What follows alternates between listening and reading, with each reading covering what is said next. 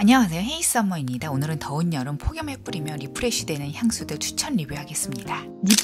De Neroli. 딥티크의 L'Eau de Néroli는 상쾌한 오렌지 과육향인 시트러스로 시작해 아카시아 같은 꽃향인 neroli로 마무리되는 aromatic한 향입니다.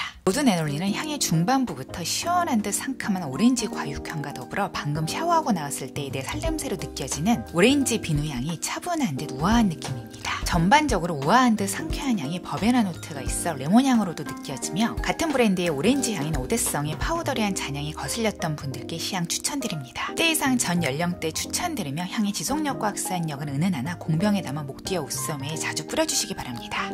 Hermès Terre d'Hermès Eau Givrée. 2022년 에르메스 신제품인 Terre d'Hermès Eau Givrée는 달콤한 듯 청량 쌉쌀한 자몽과 톡 쏘는 듯한 청량한 spicy함이 조화로운 사계절 향수입니다. 향의 노트에 있는 citron은 레몬과 닮은 향이며 시트러스한 느낌이 fresh하고 쌉쌀한 자몽 냄새로 느껴지며 잔향으로 갈수록 woody함이 부각되나 무겁지 않게 살에서 마무리됩니다. Terre d'Hermès Eau Givrée는 전반적으로 향의 핵심 노트인 juniper berry의 청량한 듯 서늘한 느낌이 sparkling한 자몽 과 즙의 향으로 느껴지며 에르메스 특유의 고급스러운 woody함과 조화로와 중성적이며 밝고 세련된 느낌입니다. 20대 이상 남녀 공용 향수로 추천드리며 unique한 시트러스 향이 비즈니스 캐주얼 의상에 어울리며 세련된 분위기가 오피스 향수로도 적극 추천드립니다. 향의 지속력과 확산력은 중간 정도입니다.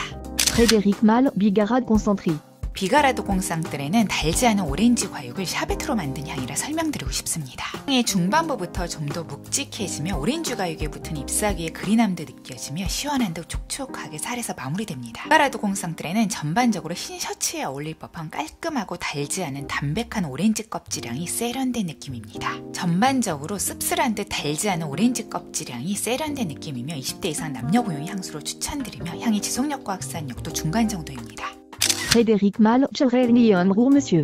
Géranium Pour Monsieur는 장미 같은 fresh한 꽃향인 제라늄과 민트의 조화가 고급스러운 비누향입니다. 초반 강한 민트향이 지나가면 향의 중반부부터 제라늄 꽃의 fresh한 달콤함이 부각되며 살에서 powdery하게 마무리됩니다. Géranium Pour Monsieur는 전반적으로 구강 청결제 같은 fresh한 민트향이 초코가루가 미세하게 뿌려진 듯한 unique한 달콤함으로 느껴지며 장미꽃 같은 제라늄의 꽃향과 조화로와 매우 세련되고 고급스럽습니다. 20대 이상 남녀 공용 향수로 적극 추천드리며 폭염에 뿌리셔도 섹시한 듯 세련된 비누 향이 고급스러운 느낌입니다. 향의 지속력과 확산력은 중간 정도입니다.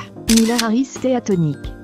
브랜드로부터 단순 선물 받은 영국 브랜드 밀러 해리스의 Tea Tonique는 쌉싸름한 차향과 시트러스한 베르가못이 조화로운 여름 향수입니다. 또한 베르가못의 시트러스한 듯 포근한 creamy한 느낌이 지나가면 향의 중반부부터 green tea와 마른 홍차 잎을 코에 대고 맡았을 때 씁쓸한 듯 쌉싸름함이 부각되며 청량한 듯 시원하게 살에서 마무리됩니다. Tea Tonique는 전반적으로 중성적이며 레몬이 섞인 시원한 green tea 음료를 한 모금 마셨을 때 청량감이 싱그러우며 자작나무가 타는 듯한 smoky함이 잔향에서 미세하게 느껴지며 지루하지 않습니다. 20대 이상 전 연령층 여름 향수로 추천드리며 구딸파리의 차향인 L'Île au Thé를 좋아하시는 분들께도 추천드립니다. 향의 지속력과 확산력도 중간 정도입니다.